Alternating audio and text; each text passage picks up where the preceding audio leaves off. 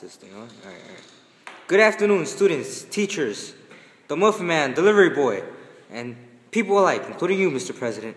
This is me, Emmitt Mendoza, Chris Vargas, and my fellow student, Felix Vasquez. Today, we're going to teach you how to solve an equation. Here we got an equation.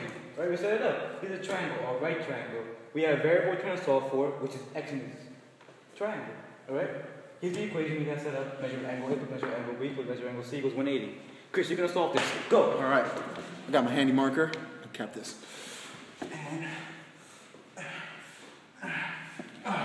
Yep, it's not on this. All right. All right, the measurement of angle A has been substituted for 4x plus 7, which as you can see right here. And the measurement of B, angle B, is 8x minus 1, plus the measurement of angle C. As you can see, this little box right here, that makes it 90 degrees straight even. All right. Now what we want to do is we want to solve for x. So we combine like terms for the first thing. All right. So as you can see, we combine 4x and 8x, which will give us 12x. First thing, done. These two, out of it. All right. Now, we have to combine the other like terms. Positive 7, negative 1, and 90, which will give us 96. exactly. All right. And we can't forget about our handy dandy 180. Remember, this is an equation, so you gotta put an equal sign to it, alright? All right. Now, what we want to do is we want to subtract 96 from 180. All right. Now, this is where it gets not complicated. Minus 96 from both sides. What are we left with?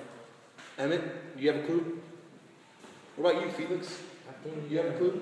Don't we get like the 90, uh, 84, maybe? I'm not sure. What do you think? I'm not getting my math, so. Look, I was right. I was right. All right, we've done our calculations and our sciences, and now we've learned that when you take away 96 from 180, what do you get, Felix? You get 84. 84. And now, you see this little 12x? That means x times 12 equals 84. So what we want to do is we want to divide both sides by 12. So we're just going to put a line under there, divide both sides by 12. That takes care of the 12. All right. Now the x, it's going to be left there all alone. But something happened to the 84. I wonder what? It gets divided by 12. Felix, do you know what that is? It's 7. 7. Lucky number. And there you have it, folks. X equals 7. Now let's, let's see what happens when we put 7 in the equation so that it all adds up to 180. All right, let me just erase all this. Get a fresh start.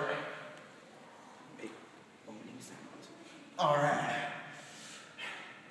Yeah. All right. Now, 4x plus 7 plus 8x minus 1 plus 90 equals 180. Now what we want to do is, since we found out that x equals 7, we have to substitute it for each one of these over here. So we're going to end up with 4, open parentheses, 7, close parentheses, plus 7, plus 8, open parentheses, 7, close parentheses, that's important, minus 1, plus 90. All right, now there you have it. But we're still not done yet. Now, 4 times 7. What is that, Felix? 28. 28. Solid 28. All right. Plus 7 plus 8 times 7. Which is what, Emmitt? 35? It's 56, Emmitt. What's your problem? Emmitt, just for that, you don't get a gold star. I'm sorry, man. I'm sorry. But it's, it's okay, man. Now just head to your little corner. All right, Felix, what was it again? 56. 56. That's a solid 56. And we can't forget about the minus 1. Plus 90. All right. Now, Emmitt, here's where you can redeem yourself. What's 28 plus 7? 35. He's correct. He's correct. All right. So that's a solid 35. Plus 56 minus 1 plus 90. Now, Felix, what do we get when we minus 1 and 56? We get 55. Really? It's fascinating. I'm going to go with you since you never let me wrong. 55 plus 35 plus 90.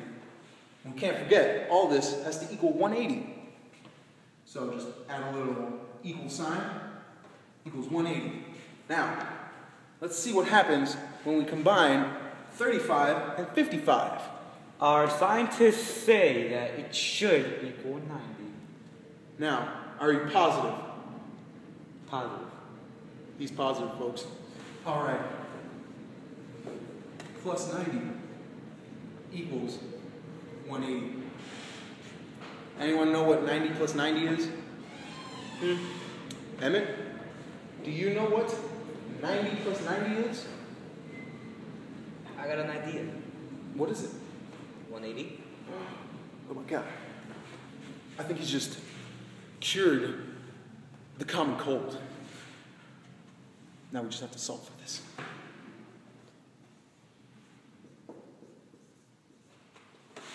By God. you've got it, Emmitt. And yeah, he's very weak handed.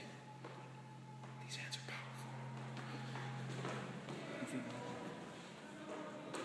And now, kids, you know how to solve for angles.